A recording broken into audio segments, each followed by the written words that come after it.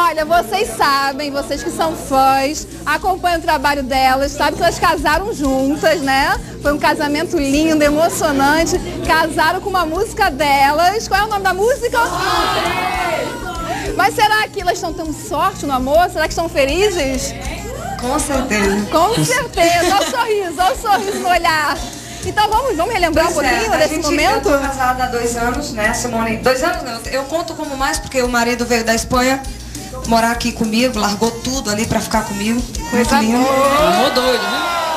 E veio trabalhar aqui, fazer a vida dele aqui. Então a gente tá. Eu conto desde o dia que ele chegou, que a gente tá junto mais, mais de quatro anos já. Eu e o Vi. E a Simone, a gente resolveu fazer a festa juntos, todo mundo viu isso na internet, bombou.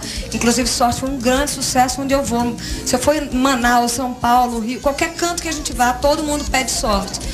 E essa música nos deu muita sorte, inclusive foi meu marido que mandou pra mim. E me deu tanta sorte que hoje aqui no Feminíssima eu quero anunciar pra todo mundo que eu vou ser mamãe.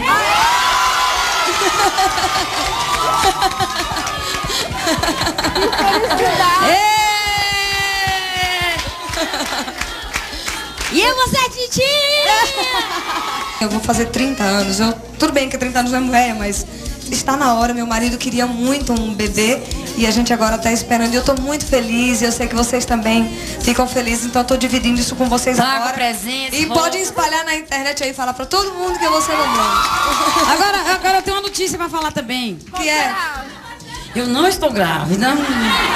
Eu não quero filho agora não, agora não. Ela vai ter a, minha, a sobrinha para o É, sobrinho. é, né? aí eu, eu queria contar a novidade que é uma menina.